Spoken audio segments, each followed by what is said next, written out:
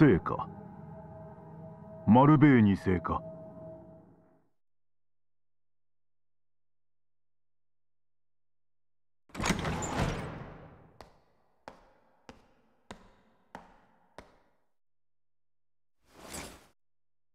レックス様がお見えになりました。そうか。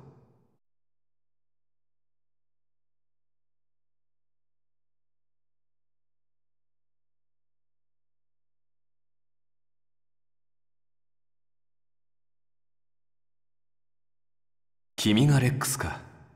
会いたかったよ。あんたあいやあなたがアーケディアの？え嘘。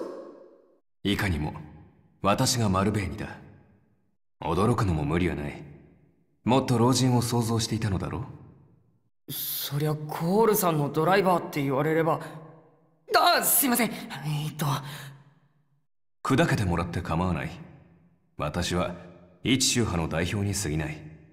法王などという大層な名前もただの飾りだ。それに君とは同じ天の聖杯のドライバー。ある意味仲間とも言える。そう言ってもらえるとちょっとは楽かも。です。印象が変わったなもっと険しい感じだったと記憶しているが。そうだ法皇様。これ。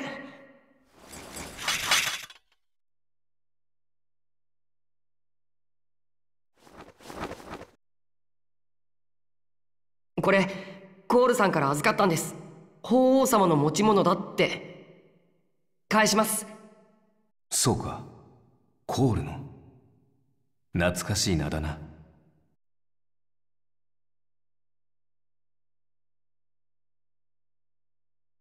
コールさんから聞きました。法皇様が楽園への生き方を知ってるって。俺楽園に行きたいんです。行ってこの世界を何とかしたい。いや何とかできるかどうかは行ってみなければわからないけど伝説が本当なら俺たちが生きていける場所きっとあると思うんです。かつてかつて私も君と同じ考えだった。同じ考えを持って世界中を登った。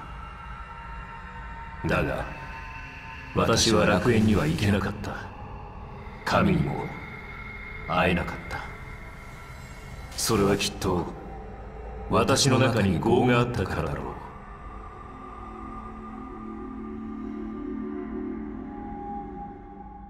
う。レックス。君の思いは理解した。私も最大限助力しよう。本当に？あありがとうございます。礼はいらないよ。それが私の役目なのだろう。そのために今まで生きてきたのだから。ついては。ホムラです。私の名前はホムラ。ホムラと少し話をさせてもらえるとありがたい。何？ちょっとした思い出話をね。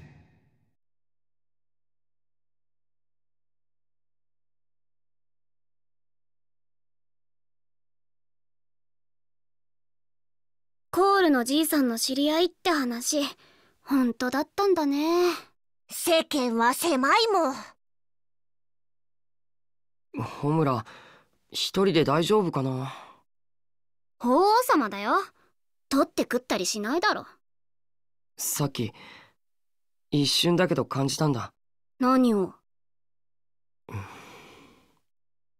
レックス？まるであのメツと話をしてるみたいだった。気のせいだろ。メツのドライバーなんだからその思い込みとか全然似てないですもん。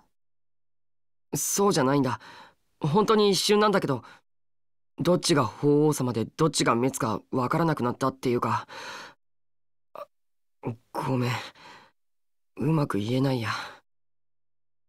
同調の際ドライバーの影響を大きく受けるブレードもおる。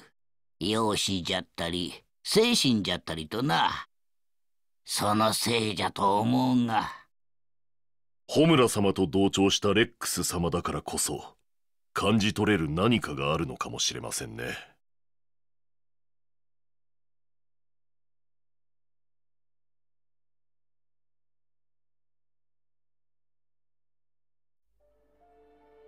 1500年前に描かれたものだ。雨風にさらされ修復もされず今なお当時の輝きを誇っている。とうに失われた技術だよ。歴史とともに人は進化するのかそれともむしろ退化するのか。君はどう思